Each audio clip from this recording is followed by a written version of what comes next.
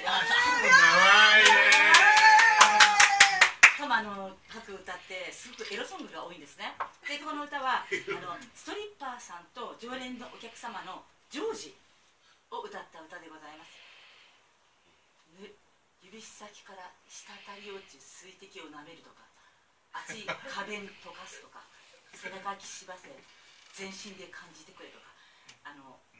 宇野浩一郎さんが大好きでしたの小説家目指してました。観音小説家になれなかったんで歌を書いております。ありがとう。靴音を歌わせていただきます、はい。